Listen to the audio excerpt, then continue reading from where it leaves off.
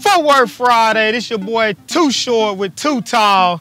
All right, our drill today, really, we got the he got the ball in his hands. So yeah, this will be for running backs. We also do this drill with our linebackers and our D-line. All right, so RBs, linebackers, and D-line, they all do this drill. So we're gonna do a lateral two-piece over the bags. One, two, one, two, one, two, two steps out, one, two, then one, one, one, out into a little push, little drive, all right? Real simple.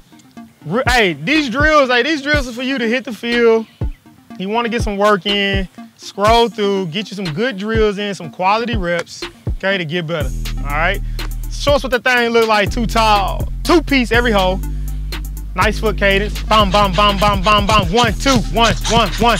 Good. Notice when he comes out of that last bag, he turns the hips, no wasted movement. Two steps, then one step through each bag.